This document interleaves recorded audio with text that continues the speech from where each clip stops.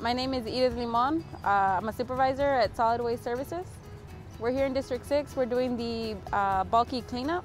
We come out here and we pick up branches, any bulky items, white goods, household appliances, large swing sets, carpets. Um, some things not to put out would be paints, oils, tires, any electronic devices.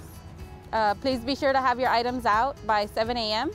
Make sure it's not against any fences, leaning up against any fences or on top of any water meters.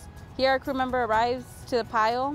Uh, he shows up, he parks, he gets on top of the truck and picks up the uh, branches or bulky items or anything that was left outside by the curb.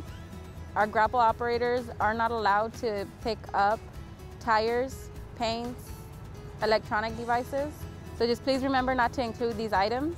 Each resident has uh, two bulky items per year, free of charge, and usually we get to them in one to 10 working days.